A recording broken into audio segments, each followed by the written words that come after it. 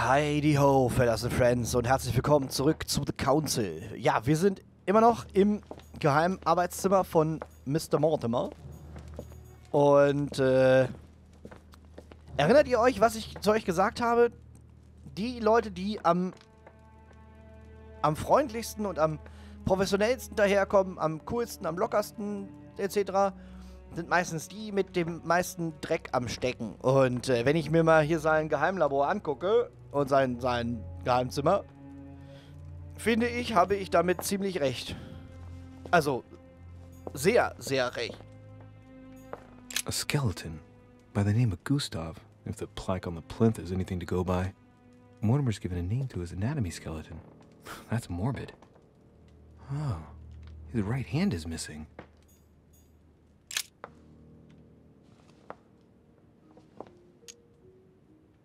Looks like obsidian or onyx.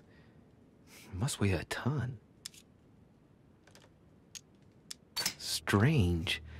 I don't recognize the alphabet. I wonder where the pictograms are from. It isn't Egyptian or Hebrew. There are two inscriptions on the sides as well as on the top. No way to know what's underneath. Absolutely no idea what it's for, but I find this cube fascinating. Können wir da nicht irgendwie mit dem Hammer draufhauen?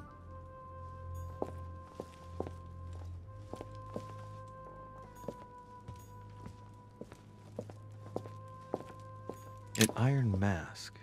I wonder who it's for.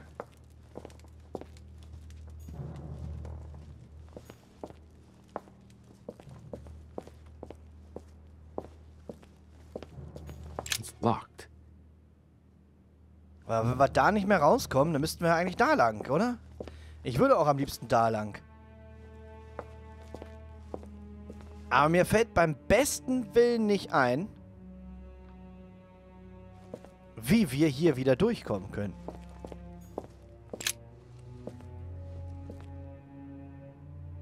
This looks like the same mechanism as the one on the other side.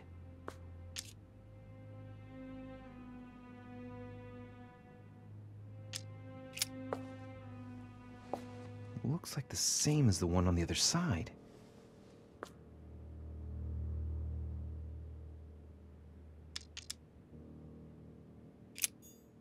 Okay.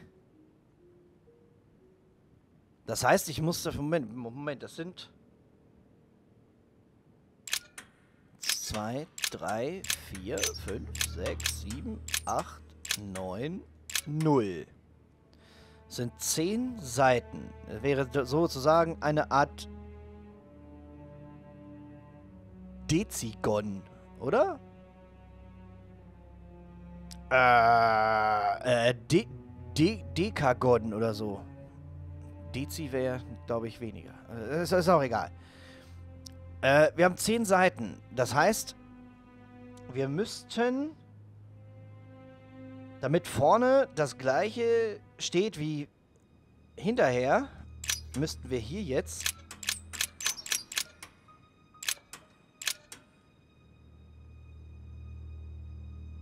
acht, neun, weil das ist ja umge eine umgekehrte neun, weil da hinten, ne, wenn man diese nach vorne dreht, dann also neun.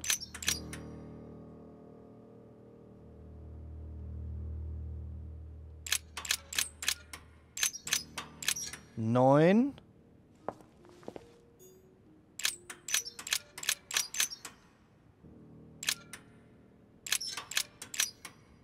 Nee, nee, nee, nee, nee, nee, nee, nee, nee, nee, nee. Eins, genau. Weil dann müsste mich die neun auf... Nee. Oder doch? Nein. Nein, nein, nein, nein, nein. Ist ja gar nicht wahr. Oh, wir wir, wir, wir probieren es einmal. Aber ich glaube, das ist falsch. Von der Logik her zu urteilen, muss es falsch sein. This looks like the same mechanism as the one Ja. on the other side. Ja, das hatten wir schon. Drück mal runter. Whoa, whoa. If the grid closes a bit more every time I enter a wrong date, I'd, I'd better not mess up again. Doesn't seem to be working. Oh, schlecht. Das ist schlecht. Okay, pass auf. Um die neun nach da hinten zu kriegen, muss ich eins, zwei, drei,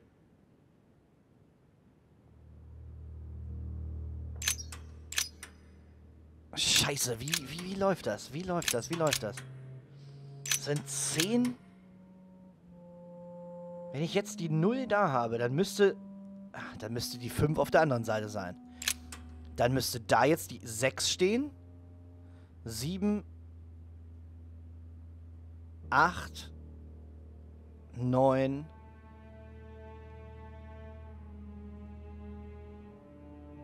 eins, sechs, sieben, acht, neun, null, eins, zwei, drei, vier, fünf.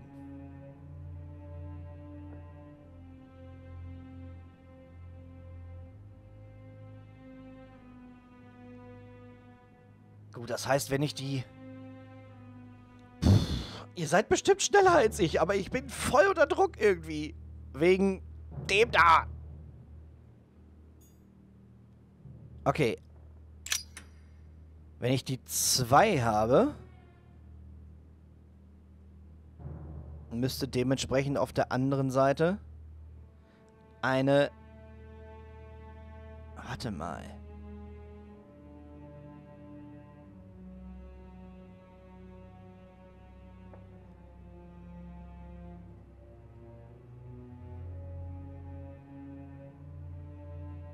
Nein, das geht ja nicht. Ah, ich hätte gedacht, ich, ich, ich hätte jetzt so überlegt, dass vorne und hinten müsste im Prinzip immer 10 ergeben. Aber das ist ja nicht der Fall. Oder?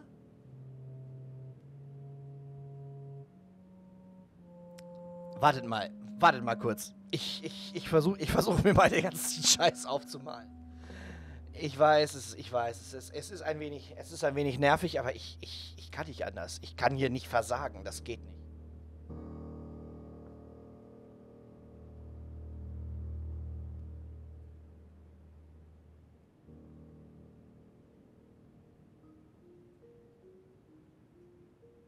Malt man denn ein ein Zehnergon, verdammt.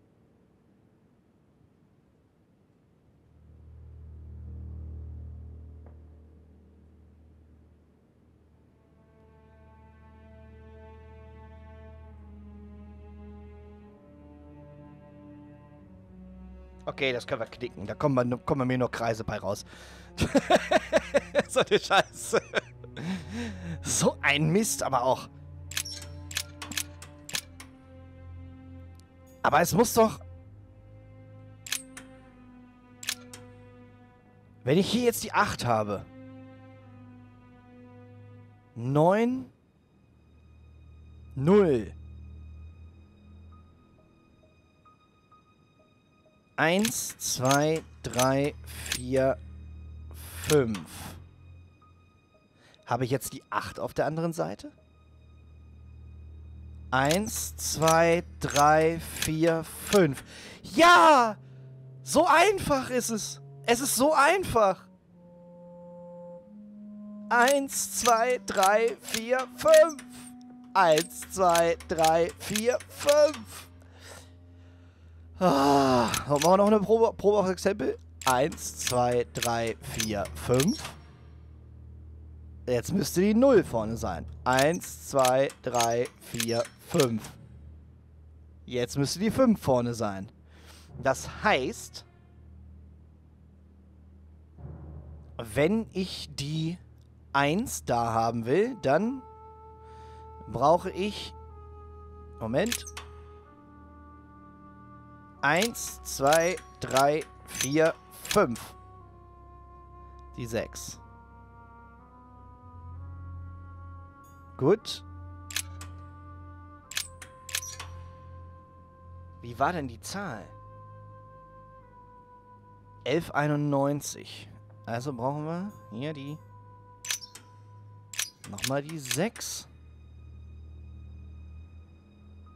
So, hier will ich die 9 haben.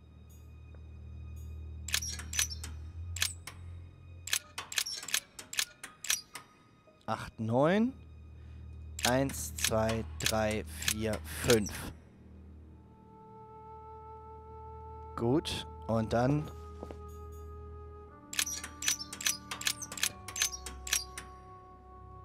So, jetzt müsste es genauso stehen wie vorhin wieder.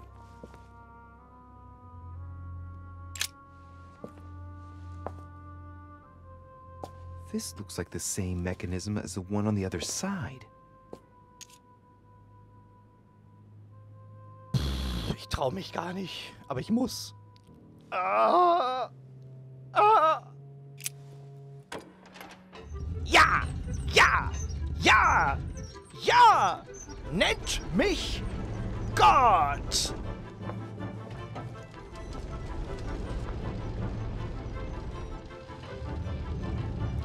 Well, I better not dwell on it then. Leider haben wir den Vogel umgebracht, ne?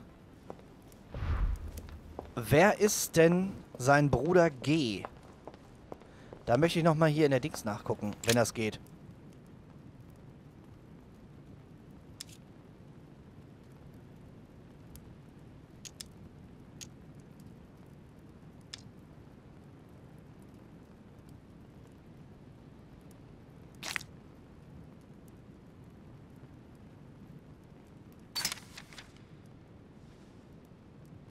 Many families kept documents of their history, but I've never seen anything like this before.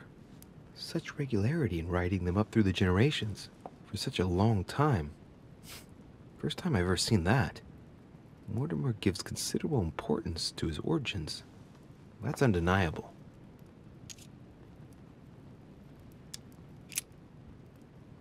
Oh, the family tree.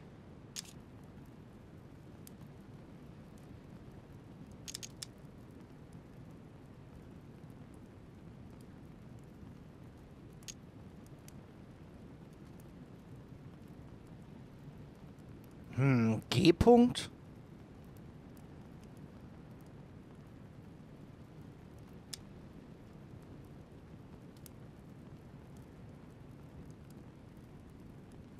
Let's see. All Mortimer's ancestors are called William something Mortimer. That happens a lot in noble families, but here it's systematic. Not a single generation ever breaks the custom. Looks like this family is very attached to their principles.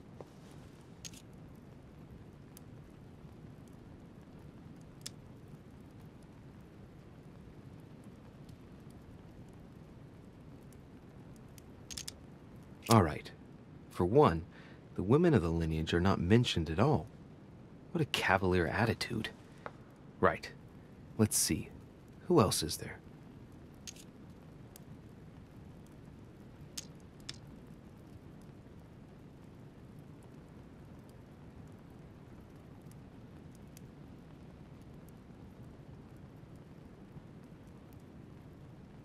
Ah, Ich hoffe, ich mache keinen Fehler. All the descendants are called William Mortimer.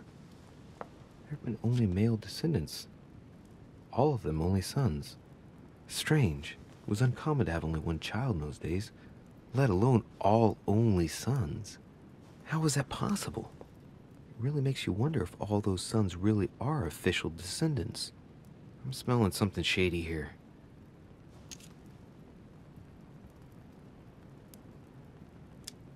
Only son, a descendant with a singular name. He also took a wife and had only one child, named William again. Another at random. William Mortimer again. Only son, him too. Born in 1573 and died in 1665. Huh. The Mortimers lived to a ripe old age, that's for sure. Discreet again. The summary states that he was an excellent merchant, and that towards the end of his life, he entered politics?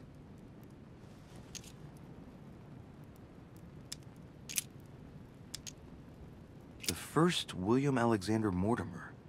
He was born in 1131 and distinguished himself during the Third Crusade, during which he rubbed shoulders with Richard the Lionheart. He showed outstanding bravery during the siege of Saint Jean d'Acre. He died in 1211 in the country of Westford at the age of 80. what longevity! Nice. Nothing is mentioned about his wife. The direct descendant of William Alexander Mortimer I was born in 1195 on his father's return from the Crusade. Only son, more discreet than his father, it states that he was widely traveled. He produced only one descendant, named William Michael Mortimer. He died in 1275. There's no chapter dedicated to his mother.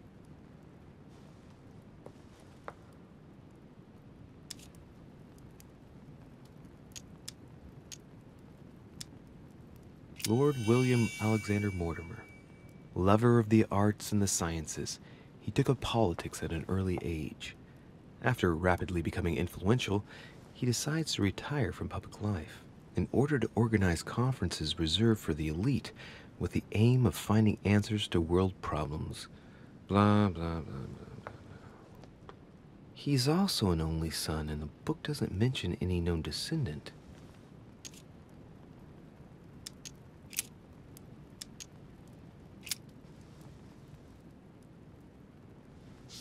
Well, well, history of the Mortimer lineage. Looks like his ancestors have always sought to improve society and have had an open attitude towards the arts.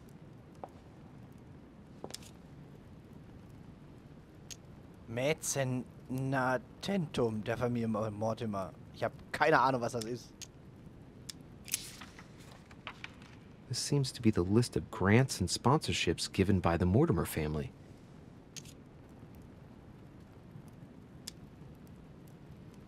In 1489, the Mortimer family participates in the purchase of the Caravel Santa Clara from Juan Nino, shipowner on behalf of Don Luis de la Cerda. The vessel will be renamed La Nina.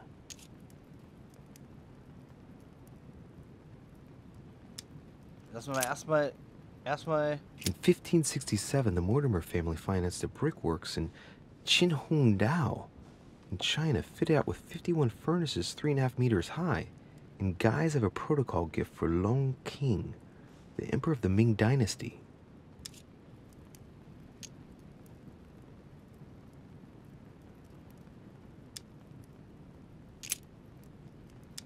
In 1645, the Mortimer family allocated a pension to be passed down the generations to the Nerac family from Bordeaux, shipowners and refiners from father to son, a family known for their expeditions to Africa and America.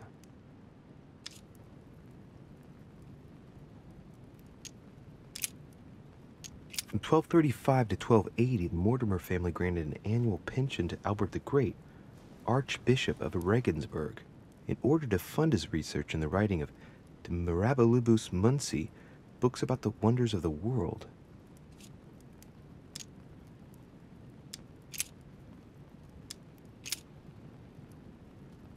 Ui, ui, ui. In 1513, the Mortimers financed the expedition of Ponce de Leon to the New World. That was the expedition that resulted in the discovery of Florida, in fact. In 1772, Lord Mortimer made a donation of 112,000 pounds to the attention of Achille Basmarin, major ship owner of Bordeaux, for the construction of a ship, the Clary. Das ist aktuell. Da lohnt es sich, das, da lo lohnt es sich vielleicht. But that's Lafayette's ship. I thought he paid with his own coin. It's even been suggested that grants were given by the Order, but in fact, that wasn't true at all.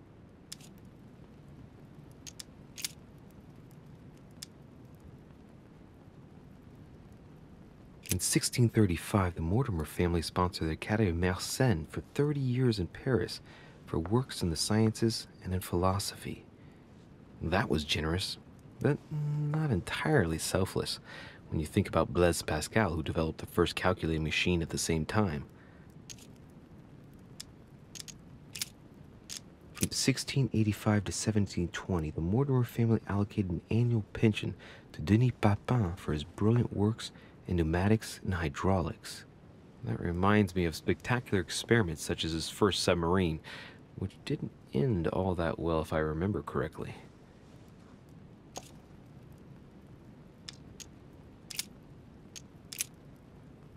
In 1550, the Mortimer family financed half of the construction of St. Basil's Cathedral in Moscow by way of protocol gift for Ivan IV Vasilievich, one of the most beautiful religious buildings ever built.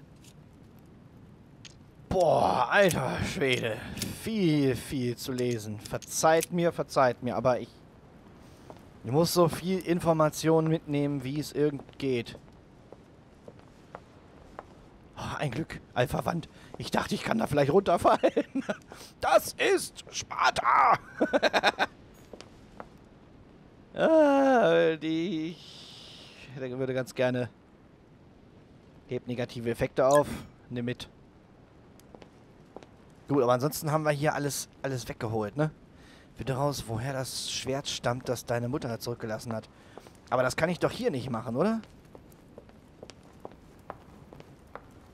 Oh, Vogel, echt mal. Es tut mir voll leid. A painting depicting the Third Crusade. It's titled Winter Before the Fall of Saint-Jean.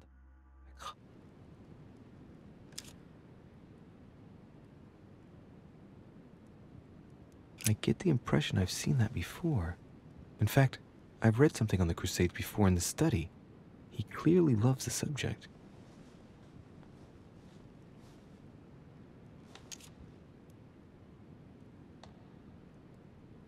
I get the impression I've seen that before. In fact, I've read something on the Crusades before in the study. He clearly loves the subject. Achso, aber das war noch, das war noch was für den alten Kram hier.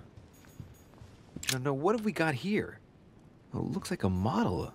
A model of a lock. Ja, das ist das Ding hier, das den Glauben prüft, glaube ich, ne? things sometimes. Dieser Well, I hope I never have to try and unlock it. This painting isn't finished. And it looks like Okay, Mortimer probably did it. Not bad, but you can't exactly say it's been done in the style of the period. Gut, aber ich denke, wir sind hier fertig. Äh, okay.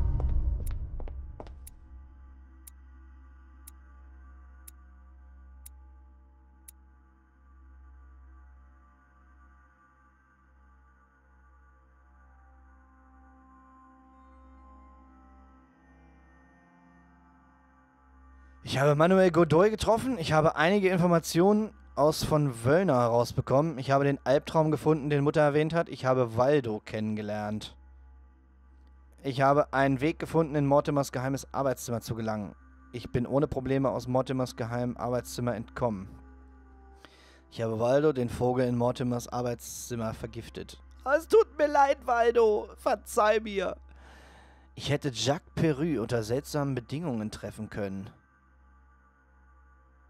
Ja, wahrscheinlich, wenn ich entweder, wenn ich entweder das, äh, äh, das Reinkommen vermasselt hätte, sprich, wenn ich Waldo nicht getötet hätte, oder aber beim Rauskommen, wenn dieses Gitter runtergeknallt wäre. Oder in beiden Fällen wäre vielleicht Jacques Perru dazugekommen und hätte uns erwischt. Maybe. Von daher, ich sehe es mal erstmal nicht als Misserfolg.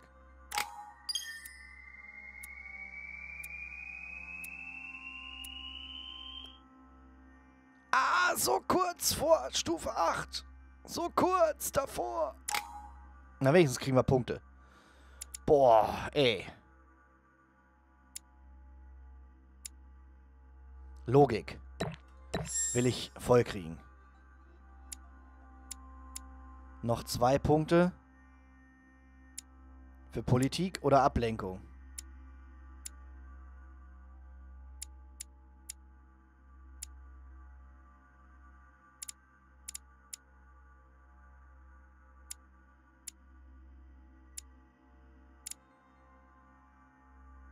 Ich darf kein Manuskript aus auswählen.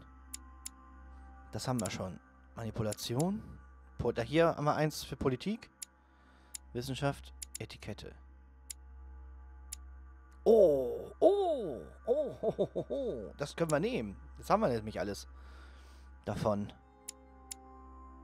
Trotzdem, Politik könnten wir einen Punkt zumindest so wettmachen. Aber ich würde ganz gerne einen, einen davon fertig kriegen. Entweder Politik oder Ablenkung. Ich denke, ich nehme... keine Ahnung, was ich nehme.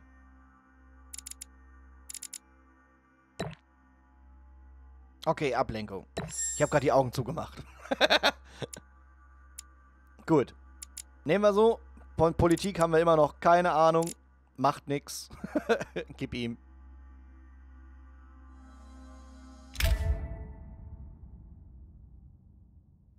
Oh. Oh. Oh. Dann auf jeden Fall Politik mitnehmen. Ah, hier hätte ich gerne, aber...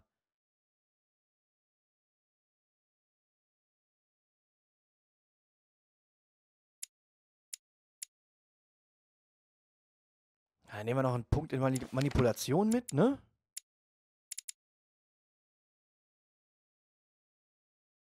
Und den nehmen wir auch mit. Wenn ich den Punkt in Etikette eigentlich ganz gerne hätte.